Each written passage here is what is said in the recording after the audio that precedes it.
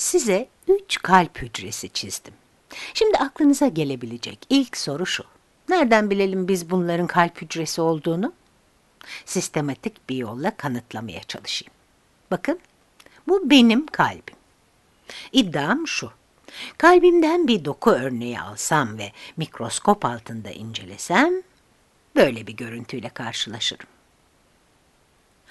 O halde bu görüntüdeki ayırt edici özelliklere bir bakalım. Siz de söylediğim doğru mu yanlış mı ona göre karar verin. Şimdi ilk bakışta fark edebileceğiniz şeylerden biri bu hücrenin yani bunun dallanmış olması. Alttaki hücreyi göstermedim ama emin olun altta da bir hücre var. Yani fark edilir özelliklerden biri dallanma veya çatallaşma. Bu sadece kalp kası hücrelerine has bir şey. Ama hepsi de çatallanacak diye bir şey yok tabii. Zaten görüyorsunuz bazıları dümdüz, eski moda ve sıkıcı şekilde bağlanmış. İki hücre yan yana olacak şekilde. Ama işte bazıları da çatallı olabiliyor. Şimdi bu resimde fark edebileceğiniz bir diğer ilginç nokta da hücrelerin çekirdekleri. Bazı hücrelerde bir çekirdek var, bazılarında iki. Bu sadece kalp kası hücrelerine özgü, ilginç bir özellik. Bir veya iki çekirdeğe sahip olması kalp kasını kuzenleri olan iskelet kası ve düz kastan ayırıyor. Ayrıca bu hücrelerde çekirdek genellikle ortada yer alıyor. Bu da özellikle iskelet kasıyla aralarındaki fark. Çünkü iskelet kası hücrelerinde çekirdek hücrenin çevresinde yani kenarlarında bulunuyordu. Evet şimdiden iki özellik sıraladık. Ha şimdi ilginç bir şey yapacağız. Bir şeyleri sileceğim. Böylece hücrenin içini görebileceğiz. Bir bıçak alıp hücreyi ortadan ikiye kesiyormuşuz gibi düşünün. Nasıl görünür? Yani içini açıyoruz gibi düşünün ve şahane, muhteşem bir manzara ile karşılaşıyoruz. Bunu daha önce çizmiştim aslında. Size göstereyim diye de kaydetmiştim. İşte hücrenin içi böyle görünüyor. İç görünüşü bu yani. Bir sürü ilginç şey ortaya çıktı öyle değil mi? Mesela bu zikzaklı çizginin içeriden nasıl göründüğünü gözlemleyebiliyoruz artık. Bu zikzaklı hatta interkalar disk deniyor.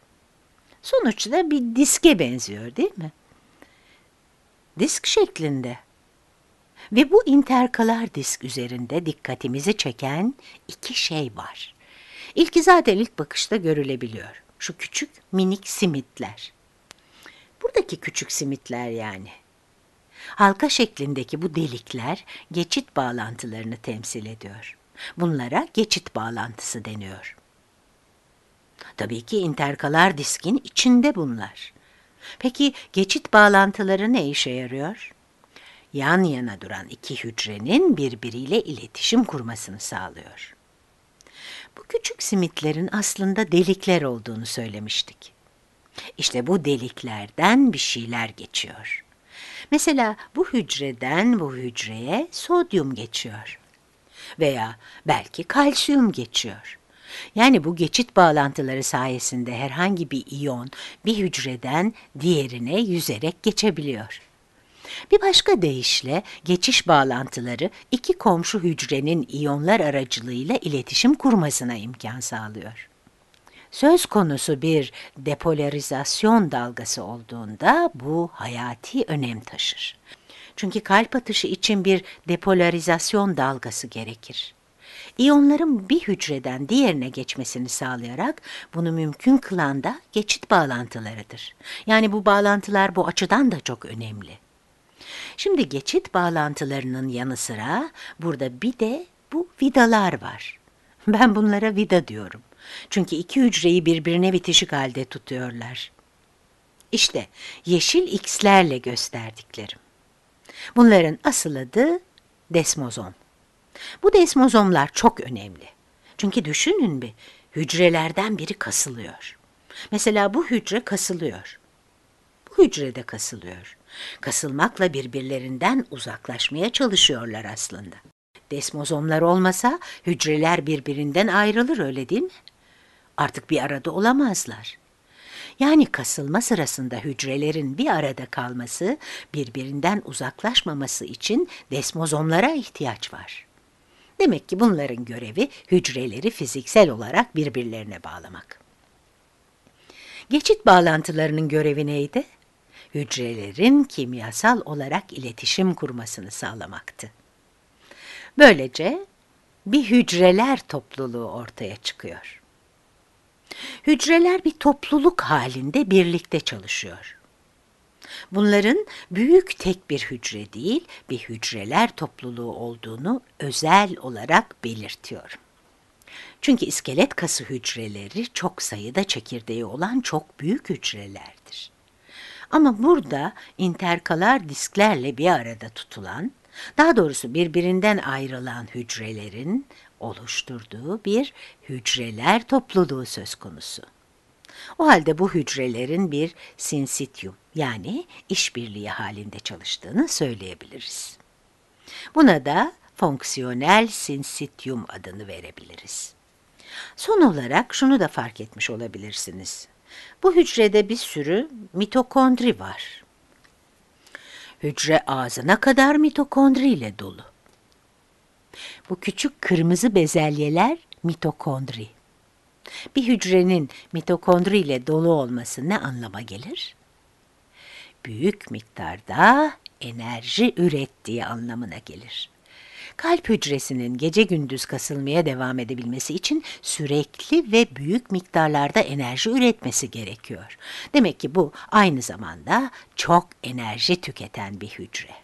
O yüzden de gördüğünüz gibi her köşesi tıka basa mitokondri ile dolu. İşte iki önemli nokta daha. İnterkalar disk çok sayıda mitokondri.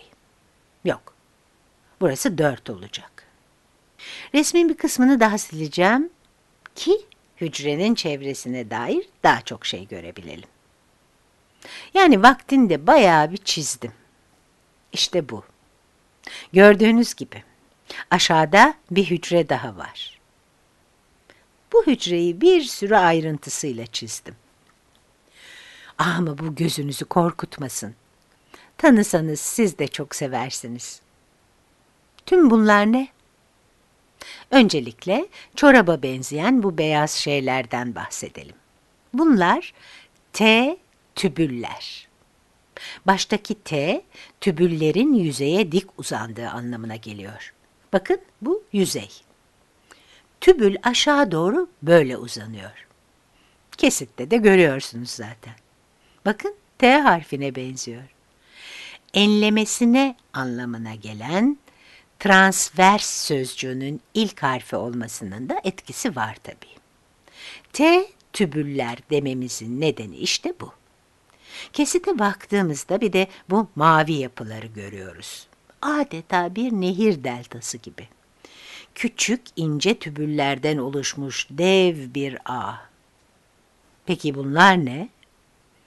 Oluşan bu yapının tümüne sarkoplazmik retikulum adı veriliyor sarkoplazmik retikulum. Belki daha önce duymuşsunuzdur ama artık neye benzediğini de biliyorsunuz. Aslında daha önce biraz yer açmam gerekecek. Evvelden başka türlü çizerek sarkoplazmik retikuluma haksızlık ediyordum. Daha önce böyle çiziyordum. Göl gibi. Yan yana iki hücre olsun. Bunu çizip alın size sarkoplazmik retikulum diyordum. Ki çoğu zaman kitaplarda bile böyle gösterilir. Halbuki sarkoplazmik retikulum aslında daha çok bir nehir deltasına benzer. Çünkü hatırlarsanız sarkoplazmik retikulumun işlevi kalsiyum depolamak. Tüm proteinlere kalsiyum ulaştırmaya çalışıyor bu organel. Bunun en iyi yoluysa tüm proteinleri çevrelemektir. Öyle değil mi? Bunun nasıl gerçekleştiğini resimde görüyorsunuz. Şimdi de T tübüllere dönelim. T tübülün işlevi ne? Ne işe yaradıklarından hiç bahsetmedik. Sadece ne olduklarını söyledik. Unutmayın, bu hücrenin bir de dışı var. Dışın kısaltması için D yazalım. Zaten içinin ne olduğunu biliyoruz. İçi sarkoplazmik retikulumun olduğu yer. Yani burası iç, i ile kısaltıyorum. Dışarıda iyonlar var. Mesela burada da kalsiyum olsun. Bu kalsiyum dışarıda öylece takılıyor. Sarkoplazmik retikulumun önce bir kalsiyumun orada olduğunu bilmesi gerek. Kalsiyumun içeri girebilmesi için yüzeyden geçmesi lazım. Ama yüzey alanı çok da büyük değil. Hücre bu T tübülleri oluşturarak yüzey alanını artırıyor.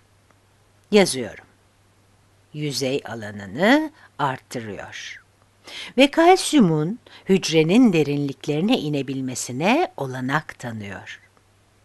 Küçük bir insan olduğunuzu hayal edin. Yürürken bir T tübüle basıp aşağı düşüyorsunuz. Gözünüzü T tübülün dibinde açıyorsunuz. Dev bir çorabın içine düşer gibi. Sonra isterseniz tırmanıp geri çıkıyorsunuz tabii. Ama T tübülünün içindeyken hala hücrenin dışındasınız. Bu nokta çok önemli. Hücrenin dışındasınız. Kalsiyum zardan geçtiğinde ya da nihayet geçtiğinde diyelim ve hücreye girdiğinde mesela kalsiyum hücreye buradan girsin. Aslında her yerden kalsiyum giriyor tabii ki. Bu kalsiyumun önemli bir görevi daha var yalnız. Sarkoplazmik retikulum üzerindeki bu küçük noktaya yani reseptöre bağlanmak. Sarkoplazmik retikulumun her yeri kalsiyumun bağlanabileceği bu reseptörlerle dolu. Ve bu kalsiyum bağlandığında sarkoplazmik retikulumun kendi kalsiyumunu salmasına yol açıyor. Kalsiyum bağlandığında sarkoplazmik retikulum kendi kalsiyumunu dışarı atıyor. Bunun çok çok çok iyi anlaşılmasını istiyorum yalnız. Hücre dışı çevrede dışarıda bulunan kalsiyum T tübülüne giriyor. Zardan geçiyor ve hücrenin içine giriyor. Sarıyla gösterdiğim bu ceplere proteinlere bağlanıyor. Sonra da sarkoplazmik retikulumun içindeki kalsiyumun dışarı atılmasını sağlıyor. Atılan kalsiyum da hücrenin her yanına dağılıyor. Bu önemli bir aşama. Çünkü şuraya yazayım. Sanırım beşinci maddedeyiz.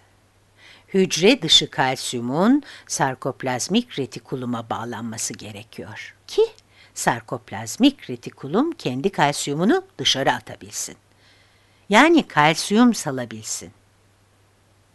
Neden iki adım var diye merak ediyor olabilirsiniz. Hücre dışı kalsiyumun çok küçük bir miktarıyla sarkoplazmik retikulumdan büyük miktarda kalsiyum salınıyor. Bu süreci tetikleyip salınacak kalsiyum miktarını artırıyor. Bu önemli bir fark. Çünkü iskelet kası hücresinde sadece bu kısım var. Kalsiyumu hemen salıyor. Önce hücre dışı kalsiyumun bağlanmasına ihtiyaç duymuyor. Peki, şimdi bir şeye daha değinmek istiyorum. Şunu biraz aşağı çekeyim. Eğer mikroskopla bakacak olursanız ilginç farklılıklar gözlemlersiniz. Bu aktin ve miyozin bantlarının farklı göründüğünü fark edersiniz. Ki zaten farklılar. Şimdi isimlendireceğim. Bu maviler aktin, turuncular da miyozin. Önceden biliyor olabilirsiniz. Bu ikisi yani aktin ve miyozin iki farklı protein türü. Birbirleri üzerinde kayarak kasın kasılmasını sağlıyorlar. Bundan zaten daha önce bahsetmiştik. İlginçtir, mikroskop altında bakıldığında bu kısım çok koyu, aktin ise çok açık renkte görünüyor. Sonuçta da şöyle bir şey ortaya çıkıyor. Kırmızı çizgiler, aralarında da mavi çizgiler. Böyle çizgili göründüğü için de Bu arada renkleri kafadan attım tabii. Mavi ile kırmızıyı. Madem kas böyle çizgili görünüyor o halde bu kas çizgilidir diyebiliriz. İşte bu yüzden kalp kası hücrelerinin çizgili olduğunu söylüyoruz. Evet, değinmek istediğim son nokta. Biliyorum, kalp hücreleri üstüne fazla konuştuk. Umuyorum ki artık bunların gerçekten kalp hücreleri olduğuna ikna olmuşsunuzdur. Evet, son olarak şuna değinmek istiyorum. Merak ediyor olabilirsiniz. Bu hücrelerin arasında ne var? Bakın, aralıklı çizmişim. Bu hücrelerin arasında ne var? Hatırlayın bakalım. Çok sayıda mitokondrimiz vardı. Buradan da enerji ihtiyacının büyük olduğu sonucuna varmıştık. Demek ki bu hücrelerin arasında kan damarları var. Yani hücreler arasındaki boşluklardan kan damarları geçiyor. Daha net bir tabirle kılcal damarlar. Tabii bir de bağ doku var. Bu boşluklarda ayrıca bol miktarda bağ doku bulunuyor. Hücrenin dışında kalan bu kısma hücre dışı ortam veya ekstraselüler ortam diyoruz. Burada bağ doku var, damarlar var, sinirler var. Yani hücrenin dışında bir sürü şey var. Bu boşlukları bu bir sürü şey dolduruyor. Biraz daha yer açayım. Bağ dokunun adı endomisyum. Yani bu ortam endomisyumla, hücrelerle, damarlarla dolu. Boşlukları bunlar dolduruyor. Umarım bunun gerçekten kalp dokusu olduğuna kesin olarak ikna olmuşsunuzdur.